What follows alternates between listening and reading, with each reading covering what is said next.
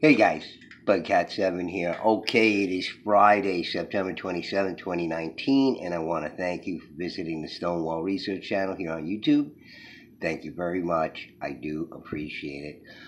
Alrighty, gang. Well, we're going to keep on with the giants here because, uh, or I like to call them large hominids, because it seems to be more of a scientific classification you know, a more precise use of the language than, let's say, giants. Uh, you know, just my personal opinion, but seems to be a classification because we have a variety of these types of uh, large hominids around the world with unusual skulls, etc. People who are slightly more robust, which is, uh, you know, the euphemism they use for larger in size. And, you know, when you hear about these examples of the people putting the skull over their head or the jawbone up to theirs and it's bigger, okay, so, you know, the euphemism is bigger if you didn't get it by their euphemism there. And just to remind people on my channel, I have, you know, this, um,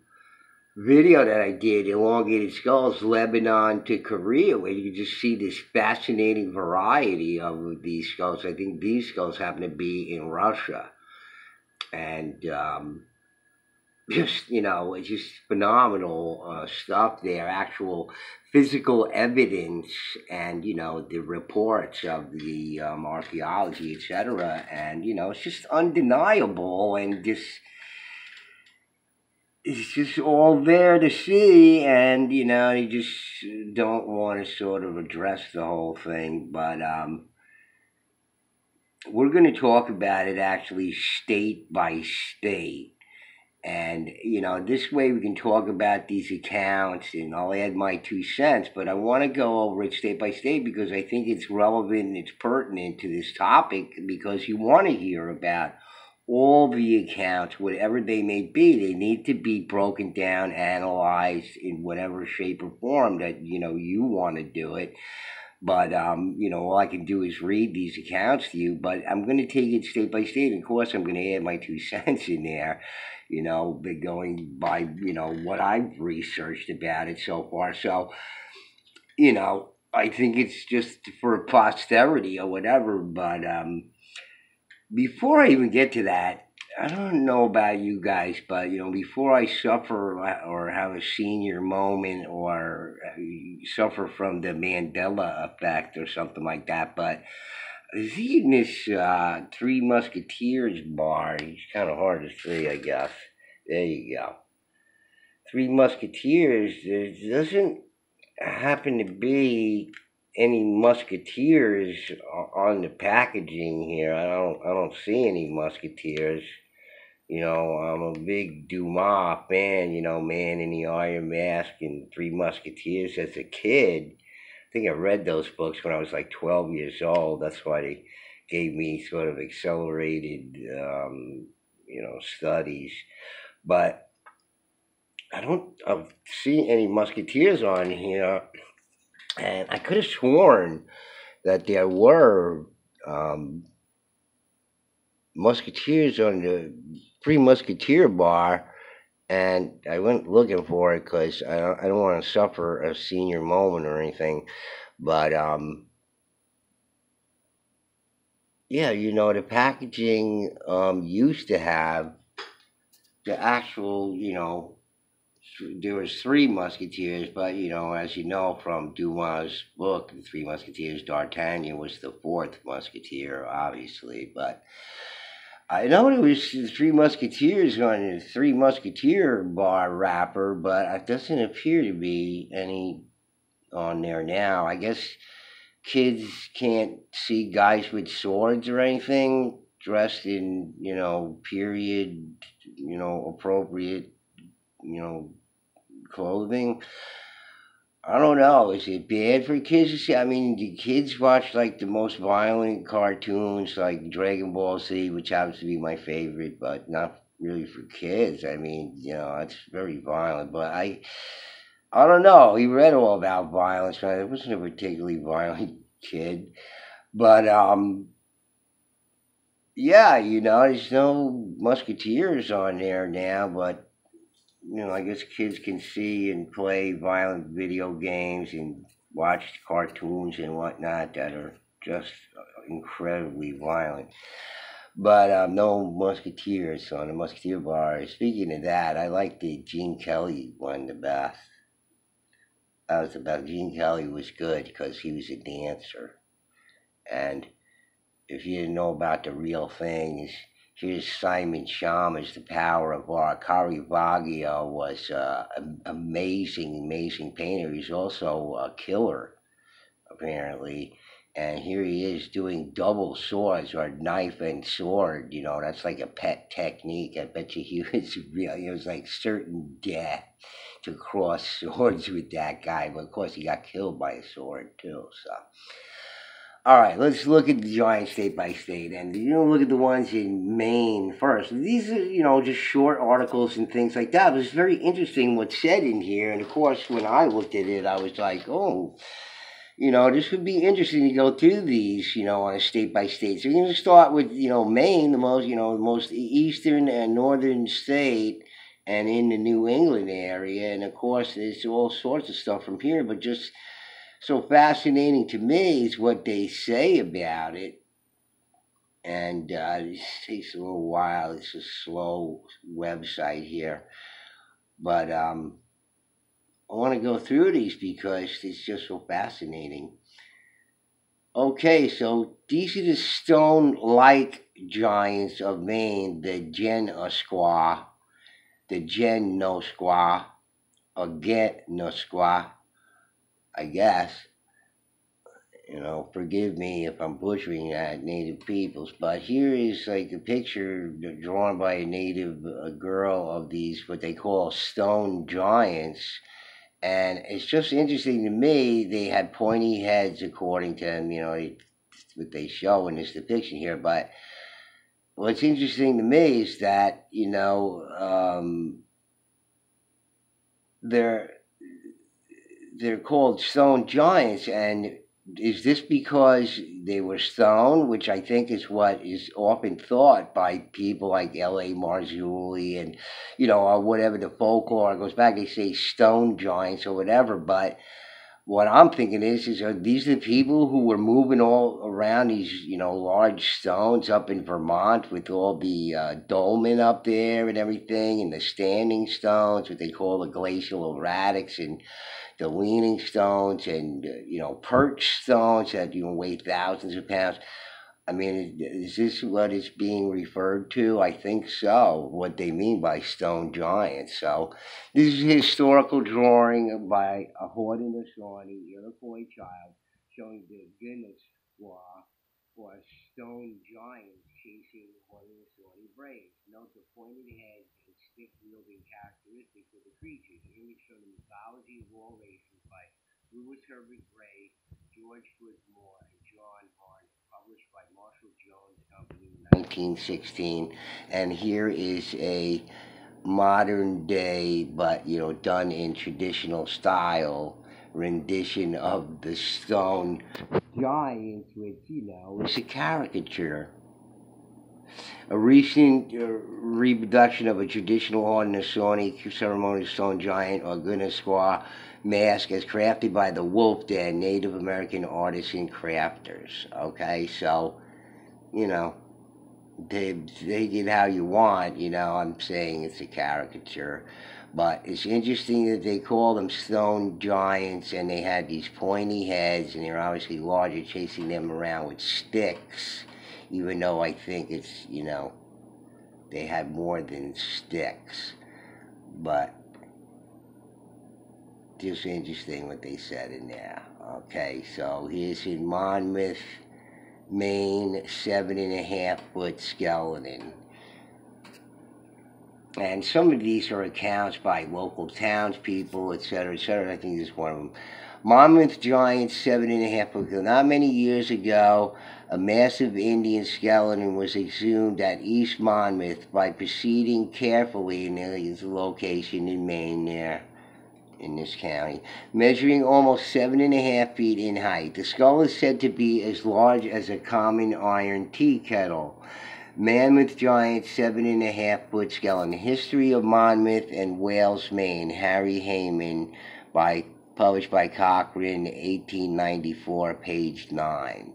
Okay, Jim Vieira, I guess uh, this is Jim Vieira's, it's attributed to Jim Vieira's research. Okay, so interesting there. So all the way up in Maine here, we have these giants here, giant arrowheads. I don't know whether this is found by the author of or the uh, moderator of the site or somebody who contributed, but this is giant arrowhead. The, the slate implement shown here is over nine inches long, found in Maine, very thick. Okay, so this is a drawing of it and here's the actual article or I guess the same one and showing other smaller arrowheads it would be have to be for a massive spear showing us in a car modern car Chevy. All right so pretty big to be thrown around and you know you have to have the strength to wield these weapons. You know anybody who's slung a sledgehammer like i have knows it's a difficult thing to do all day long this was found yesterday in southern illinois there was a lot of snow on the ground but a bear spot gave up this piece i've never seen anything like it and i have no idea what it is i did not find what was found in a field that i have hunted many times for me, okay? So some account and some pictures by somebody with a giant spearhead, which is recounted by William A. Ritchie as I go over my video, prove it. They found many, many artifacts such as those, oversized items, whether they be, you know, knives, spears, um, uh, often harpoons, which, you know, you find these people buried with harpoons in the middle of the wilderness. As I say again and again, especially about my Mallory side, a lot of these themed areas with the serpent, I often say it's got to be a sea serpent because you have all these other sort of whales and other things. But, you know, it's just people like to argue with me, especially about my sea turtle. I found a megalithic sea turtle and um, a lot of slack for that. And why is it just a box or painted turtle? Because it's got flippers. But, in any case. Um, peer reviewed 8 footer is a duplicate. Um, 7 footer from Kennebunkport, where the Bushes were from, but you know, they're Texans too, I guess. I, I don't know, you could never figure it out. They're from Maine, but they're Texan because they own land with oil on it. Under a skeleton with Indian arrow in skull. This is interesting one. Three skeletons believed. Oh shoot! Sorry about that. Damn it.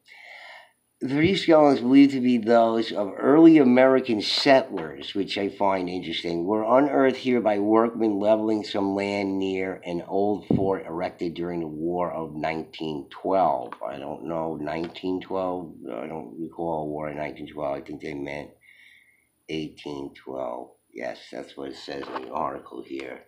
It's a typo there. Two apparently were victims of Indian massacres or wars. Embedded in the skull of one of the skeletons was an Indian arrow. The tip of the skull of of the second was shipped off cleanly as if done by a tomahawk held in a well trained hand. The third skeleton was that of a man seven feet tall. It is believed that the bodies were buried in an old cemetery on the spot and that the graves were covered over by earth thrown up when the fort excavations were being made. Maybe. I wish, you know, this is, whenever you see these things in the past, of course, you know, people giving these articles, depending on who they are and, you know, how honest they are or how naive they are, they're going to say things like this because it, it has to follow the narrative that everybody's given. So it can't go beyond those parameters because if it does, then we're talking about something else. So this is why people said these things, and they could have got a lot of things wrong. And, you know, not being professional archaeologists or academics or even physicians or anything. There are more seven footers in burial mounds across the United States than there are in the NBA. It's interesting what this guy says in this article. There are thousands of articles of giants or greater ancestors in news reports across America. It can be demonstrated that in ancient times that people in the past are, listen what he says, which i have often said, the reasons why these prejudices against these people and people will be jealous of them, scared of them, feared them, whatever. It can be demonstrated that in ancient times that people in the past are bigger, better, faster, stronger, and smarter in the past. These reports give clues like the place, Kennebunkport, like a location marker in an old fort. So research does not end with a newspaper article, it only begins with one. There is a site of an old fort in Kennebunkport, Maine, which may have more giants beneath its floors. Okay. And a bunch of other articles that concerned this or whatever, I guess, reported it. But there's the article there, and it's just what the guy said about it, about these people being smarter, faster, bigger, stronger, and everything, and you have all this stonework in the northeast, which indicates a, the, the whole contiguous stone walls throughout the regions. I'm trying to explain to people of how it's contiguous. So what does that tell you about the nature of the construction of it and how it was organized in there if it was all completely contiguous? With no openings in the walls in a lot of instances, but there were places with openings in the wall, but you have to understand these terms and all these giant rocks moved around all over the place. Just think about it for in terms of being bigger faster stronger whatever it is and how these things were built. You can't compare it to us if you're dealing with people who are actually bigger in size not only taller but bigger in size and therefore strength. And depending on how the gravity was in the past, you know, before the great cataclysm, and again, this article is saying about there being colonists or whatever. Suppose it was one of these giants, okay, or these large hominid humanoids here in the Northeast with two companions that were of European descent, but from thousands of years ago when they record the Adena being here Okay, the Adena were the people with the large vaulted craniums that were here apparently and got buried in the mounds, all the Adena mounds, all the way up into uh, eastern Pennsylvania. So, you know, look, you have to think about these things and you just got to pay attention. But let's go over some more here. There's just a few more. We'll get through this. But I'm going to go state by state because it's just interesting what is said in these things. And you know, if you you just take the word of L.A. Marzulli or Steve Quayle or whatever, I think is you're not getting enough of the story or getting it correctly. That's for sure. As I've called L.A. Marzulli out on on coast to coast. Bath, magnificent specimens. Bath, Maine, July 25th. Special. It's uh, doesn't say what the date is here. Maybe at the bottom. It is likely the visitors to the Tercentennial, either at Bath or Popham, which Popham uh, Colony, which I debunk, Popham Colony was a scam, was a money scam, never even existed, may have been a privilege of seeing skeletons of the two of the magnificent specimens of physical manhood, such as the American Indian of the days of the Sabino, Samoset, Nahanada, Sassanoa, really were. Okay, so those are the old ancient tribes in Maine there. Okay, at least the ones that they know about, and whoever came before them, the natives didn't really know about. They knew they were people, they just didn't know exactly who they were. Which being interpreted is that which James Perkins dug the cellar of his house at Popham Beach on the knoll next to the Riverside Hotel, the skeletons were unearthed who were in life from six to seven feet in height, giants, in fact. Mr. Perkins took one of the jawbones of these Indians and placed it on his own face. It completely encased his jaw, and he's a pretty good sized man. Mr. Perkins gathered Mr. Perkins gathered all the bones of these two skeletons together and placed them in a barrel and reinterred them so. It is proposed to dig up the barrel and have the bones set together to illustrate what manner of inhabitants Weymouth and Popham discovered in the earliest years of the 17th century when they arrived in this section of Maine. A common find of giant humans looking like it fits anywhere else except for the academic road to man. Seven footers are rare today, but not so much in the past. Entire tribes and races have been found, although this information is unknown to the public. There are no isolated cases, no anomalies of giants, just a thorough and complete record in every state from Maine to the California coast. It is the correct view of history, greater ancestry. Okay. so that is true. And if you can imagine that there was some country around this world right now, today, all right, that had people in it that were bigger in size overall. Okay, set let's say seven foot people who are also bigger in size. Monster, just a whole race of people like that in one country around this world. How much you want to bet your eye that they would be being attacked by anybody and everybody on this planet for some reason or another. Something would have to be made up about it. Because I'm telling you, our record of the past with big people and pygmy tribes still were wiped out by the whole people, genocided, because we didn't like them. We just, we don't like that. In, you know, in our deep, dark history. And that's why these people got wiped out. Just as simple as that, all the way up until like modern times, stuff like that's been going on. Okay, let's get to these last couple of articles, and that's it. But some of these states have like an unbelievable amount of articles and other things. Okay. So this is uh, 1922, Sunday, December 24th, 1922. Bones viewed by scientists. Maine professor believes remains found at Pasadena of ancient origin human skulls and bones uncovered in the shell mounds at Pasadena Estates by workmen Friday are thought to be the Indian tribe that roamed in this section of the country hundreds of years before the Americans discovered by white men. Is the opinion of Professor Norman Wallace Lermond curator and librarian of the Knox Academy of Art and Science, Thomaston, Maine, who is wintering here. Okay, so you got this uh,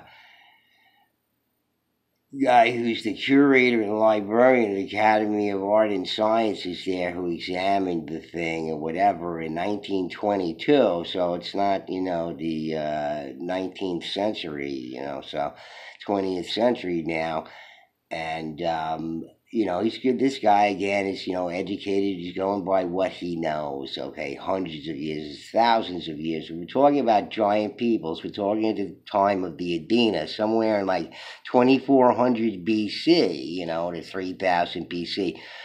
You know, within that area, according to their timeline and their dating or whatever. So, you know, wherever this giant race is, it would be pretty. Uh, easy to assume that somewhere in these areas in datings and times, maybe even a little later on with Galena Canyon, et cetera, et cetera. So, and the Lovelock people. So we, you know, if it could be a hundred, it could be thousands of years. All right, but you know, this guy's talking from what he knows in 1922. Giant race.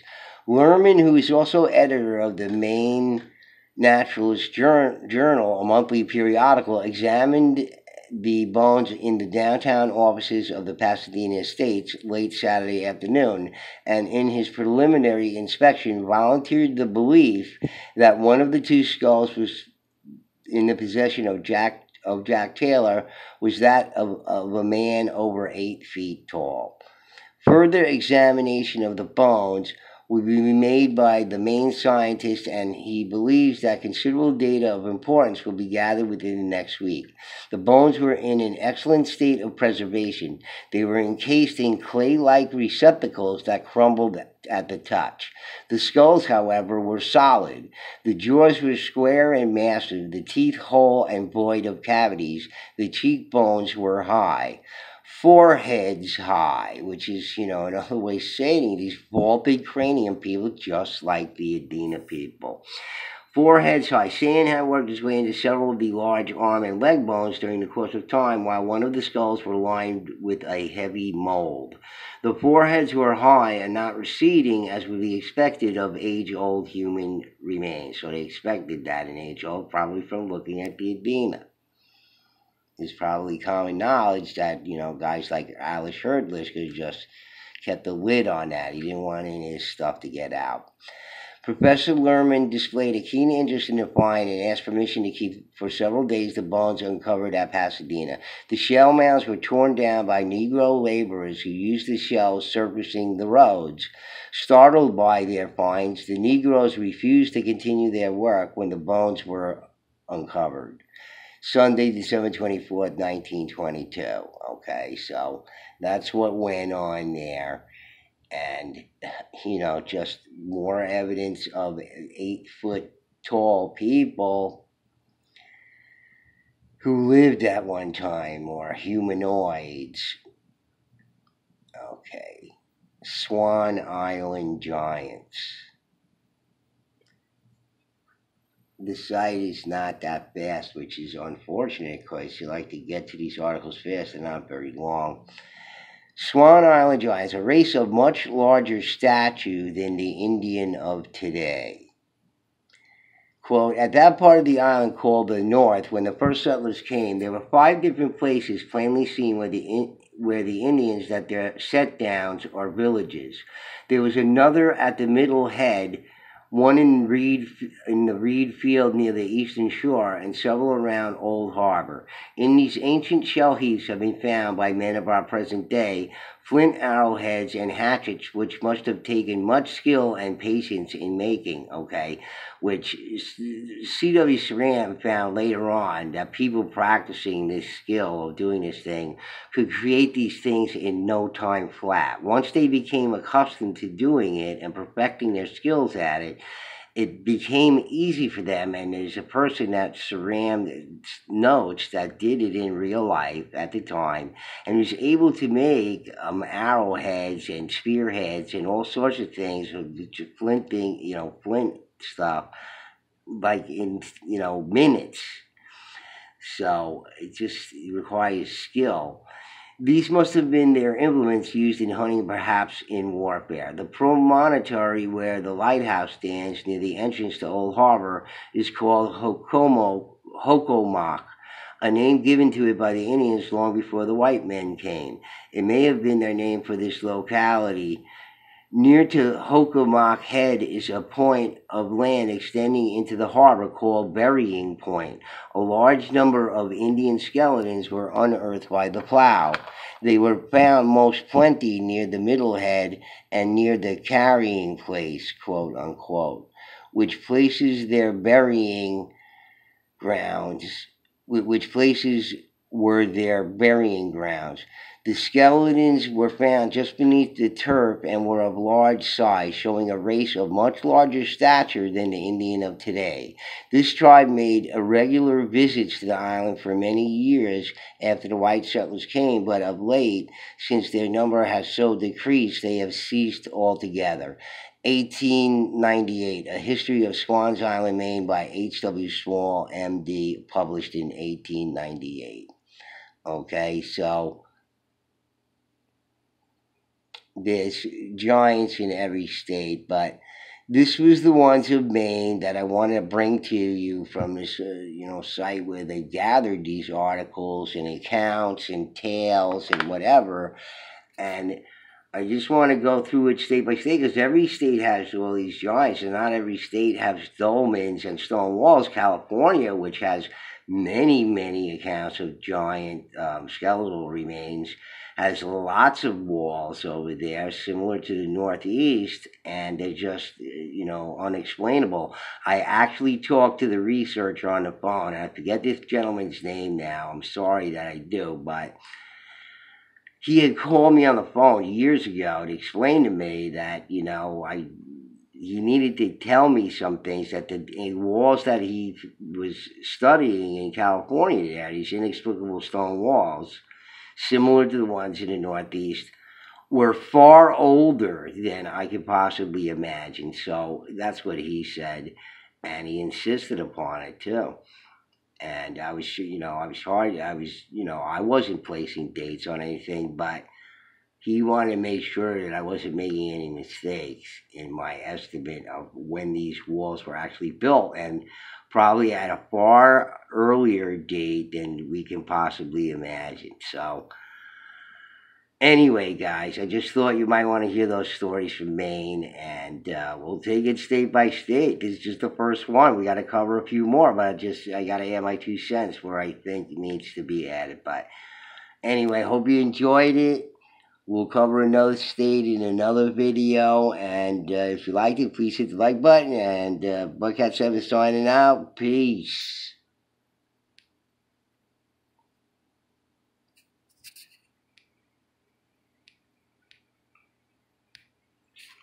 What the fuck?